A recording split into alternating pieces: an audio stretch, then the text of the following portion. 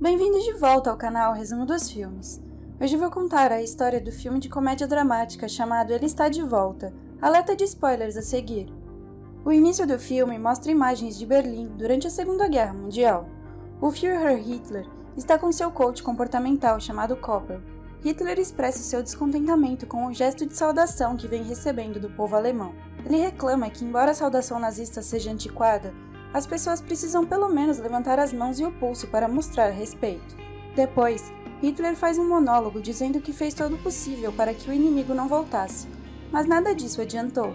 Na cena seguinte, ele acorda no chão em um jardim cercado por prédios. Enquanto olha para o céu, ele vê que as aeronaves inimigas desapareceram e imagina que elas podem ter dado uma trégua. De repente, uma bola rola em sua direção e para ao seu lado. Então ele se levanta e é abordado por três jovens que questionam se ele está bem. Hitler olha para aqueles meninos e pensa que eles são o futuro da nação. Então ele pergunta onde está Martin Bormann. Naquele instante, um repórter chamado Fabian Sawatsi está fazendo uma filmagem com as crianças e Hitler é visto do outro lado da tela. Ele pega seu cap do exército e diz a si mesmo que deveria voltar ao bunker. Hitler começa a caminhar em Berlim e fica espantado com as pessoas andando com seus skates elétricos pelas ruas. Ele percebe que está sendo filmado e fotografado pelo povo e diz que, apesar dos escombros terem desaparecido, as pessoas enlouqueceram. Então ele entende que não está totalmente consciente da sua situação e decide perguntar por informações. Então ele pergunta a um homem sobre a localização da chancelaria, mas em vez disso a pessoa lhe pede uma foto. Ele fica perturbado com os flashes das câmeras quando as pessoas se aproximam dele e tiram fotos. Confuso pelos acontecimentos incomuns ao seu redor, ele conclui que algo está fora de controle. Enquanto Hitler se afasta, ele encontra uma mulher com um carrinho de bebê falando ao telefone. Ele se aproxima e pergunta que dia é hoje, mas a mulher fica aterrorizada e borrifa spray de pimenta em seus olhos. Hitler chora de dor enquanto seus olhos ficam avermelhados e sua visão fica embaçada. Ele tropeça e caminha para a banca de jornais mais próxima. Ele fica chocado ao ver a data de 3 de outubro de 2014 escrita no jornal e cai no chão desmaiado. Em outro lugar, o chefe de uma estação de TV, Carner, elogia o Sr. Christoph por seu excelente trabalho como vice-diretor, mas em vez de dar a ele a promoção, anuncia outra pessoa como diretora executiva, Katia Bellini. Christoph fica chocado e insatisfeito. Ele vai ao seu escritório e descarrega sua raiva em um cineasta chamado Fabian. Apesar das melhores tentativas de Fabian para convencer seu chefe, ele é demitido e expulso pelos guardas. Algum tempo depois, Hitler acorda na banca de jornais e pergunta ao funcionário sobre o ano em que eles estão.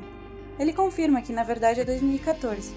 Um Hitler confuso pergunta se o lojista o raptou e suspeita que tudo isso é um truque dos serviços secretos do inimigo. Ele ameaça matar o funcionário, mas o homem lhe dá uma barra de cereal para acalmá-lo. Hitler abre e fareja aquilo com desconfiança. Ele diz que aquilo deve ser um grão prensado industrialmente e questiona o lojista se ainda há falta de pão na Alemanha. O homem pergunta a Hitler se eles estão filmando um documentário em algum lugar próximo, o confundindo com um ator. O lojista diz que ele se parece muito com o Führer, e Hitler responde que é o Führer. Depois disso, Hitler pergunta se o lojista tem alguma gazeta ariana, e fica indignado ao ver um jornal turco. O lojista diz que ele tem vários clientes turcos, mas Hitler fica espantado com a presença de turcos em Berlim.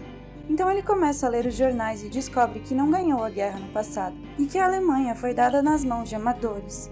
Ele lamenta ainda mais a existência da Polônia e conclui que a guerra foi um desperdício. Enquanto isso, Fabian olha para o seu vídeo de futebol, triste pelo fato de ter sido demitido. Sua mãe o acalma e pede que pare o vídeo.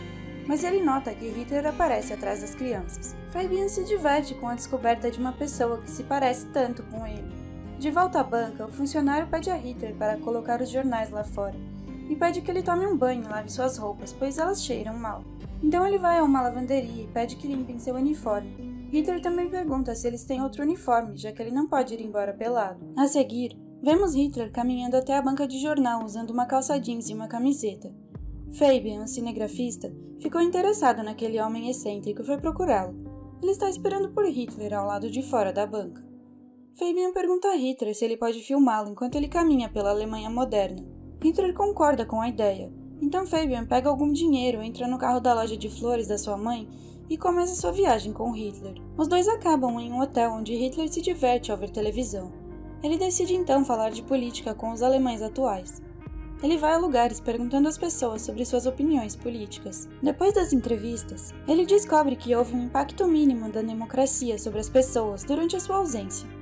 Ele inspeciona o descontentamento e a raiva reprimida nelas, o que o faz lembrar dos anos 30, quando as pessoas tinham opiniões semelhantes. Elas contam a Hitler sobre o problema dos imigrantes no país, fazendo com que ele enfatize a sua ideia de que misturar as raças não funciona, comparando seres humanos com cachorros, falando sobre as misturas de raças caninas. Mais tarde, os dois acabam num canil, onde Hitler é mordido por um cão. Ele fica enfurecido e atira no animal. Fabian o repreende e confisca sua arma. À medida que o passeio continua, Fabian acaba ficando sem dinheiro, mas ele pensa num plano e convence Hitler a fazer desenhos sarcásticos. As pessoas acham aquilo engraçado e pagam pelos desenhos, então eles continuam a sua viagem depois de receberem dinheiro suficiente. De volta à cidade, Fabian mostra um vídeo de Hitler para Christoph. O vídeo já está com muitas visualizações na internet. Christoph está impressionado com o grande número de visualizações e pergunta a Fabian o nome e o número de contato do Hitler. Depois de conhecê-lo, Christoph suspeita que Hitler seja um lunático e pede a Fabian que o leve para longe do escritório. Antes de sair, Hitler entra no escritório da diretora e pede para que ela salve a Alemanha junto com ele. Interessada na ideia, Bellini pergunta a ele sobre o plano. Imediatamente, ela pede ao seu assistente que consiga um programa de TV adequado para que Hitler possa transmitir suas ideias ao vivo. Fabian então ameaça que Christoph lhe devolva o emprego, senão ele levará Hitler embora. Ao ouvir isso, Christoph arruma Fabian um cargo para servir café, prometendo promovê-lo quando um novo posto editorial for aberto. Algum tempo depois, Hitler recebe uma mesa no estúdio de TV e Christoph chama Kromier para ajudar Hitler com o uso do computador. Hitler lembra dos computadores da sua época e elogia a máquina, dizendo que aquela invenção é uma das maiores que já viu. Kromeyer tenta criar um e-mail para Hitler, mas aquele e-mail já é utilizado por outra pessoa. Hitler se irrita por outros terem roubado seu nome. Christoph planeja colocar Hitler em um programa de comédia ao vivo chamado Rodud. Ele ainda está irritado porque Bellini recebeu a promoção em vez dele e pretende criar problemas para ela. Ele pretende trazer o racismo para o debate com piadas sobre judeus e assim expulsar Hitler dali. O show começa e o apresentador chama Hitler ao palco. O público fofoca sobre a aparência de Hitler, mas quando ele olha para eles, o salão fica completamente silencioso. Hitler logo rompe o silêncio, mas não lê as falas como se fossem roteirizadas. Ele explica que deveria contar uma piada sobre imigrantes, mas não vai fazer isso. Ele diz que a televisão é uma grande invenção humana mas os programas transmitidos são uma porcaria. Ele enfatiza problemas como a pobreza e o desemprego, e prevê que os alemães estão indo em direção ao fundo do poço sem perceber. Hitler diz que a TV prefere exibir programas de culinária em vez da realidade, então vai lutar pela transmissão da realidade, até conseguir superar os problemas do país. Todos gostam da ideia e o aplaudem. Ao ver a popularidade de Hitler, o apresentador fica com inveja Bellini pede a Christoph para transmitir Hitler em todos os programas, enquanto Christoph fica angustiado por causa do fracasso do seu plano. Na cena seguinte, vemos Hitler dando entrevistas em inúmeros programas de TV e compartilhando que quer tornar a Alemanha grande novamente. A sua popularidade cresce imensamente e ele conhece várias pessoas e líderes partidários. Ele começa a encantar um grande público, compartilhando suas ideias. Um dia, Hitler e Fabian visitam a sede do Partido Nacional Democrático em Berlim ele chama Ulf Barney, o presidente federal do partido, e pergunta o que a causa conseguiu até agora. Hitler o despreza e diz que eles já perderam tempo demais com a sua liderança. Christoph fica entusiasmado e feliz quando a polícia e o promotor público aparecem no estúdio de TV. Eles explicam que estão ali por uma queixa de violação das leis de discurso de ódio. Bellini pergunta o que eles devem fazer. Então Christoph aparece, dizendo que eles podem precisar cancelar o programa do Führer mas o Ministério Público diz que eles podem manter a transmissão. Bellini suspira de alívio enquanto Christoph finge um sorriso. Após a saída do promotor, Kromeyer entrega uma carta a Christoph, declarando o pagamento do cão que Hitler tinha matado no início de sua viagem. Christoph recebe a carta acreditando alegremente que poderia ser uma forma de causar problemas. Em seguida, Hitler é colocado num programa de TV onde recebe perguntas diretas sobre seus diferentes papéis na guerra. Hitler responde que quer alcançar as pessoas, mas o entrevistador lhe diz que todas as suas ações não podem ser justificadas. Ele mostra o vídeo dele matando o cachorro, e isso perturba o público. Hitler está zangado e diz que o apresentador faria o mesmo que ele. Ele ainda diz que vai transformar o estúdio deles num estacionamento para tanques. Christoph fica feliz ao ver as respostas negativas das pessoas. Depois da desastrosa entrevista, Bellini é demitida e Christoph é nomeado novo diretor.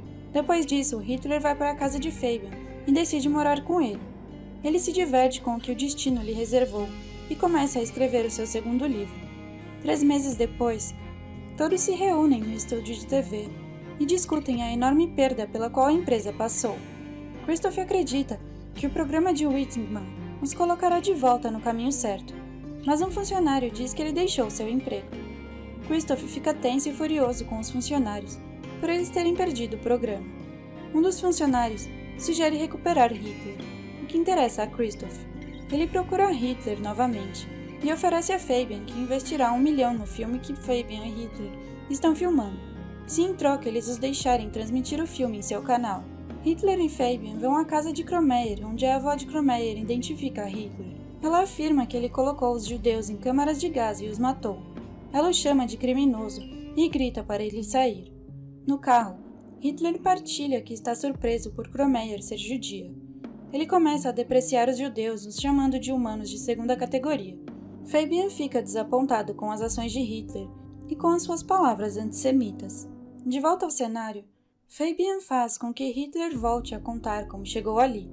Ele pergunta a Hitler o que aconteceu antes dele ter acordado em 2014, mas Hitler não se lembra de nada. Mais tarde, ele sai do set e é cercado por dois homens. Eles o chamam de louco e o espancam até ele perder a consciência. Quando Hitler abre os olhos, ele se encontra em um hospital na frente de Bellini. Ao mesmo tempo, Fabian olha para as filmagens do vídeo que ele fez dos garotos jogando futebol.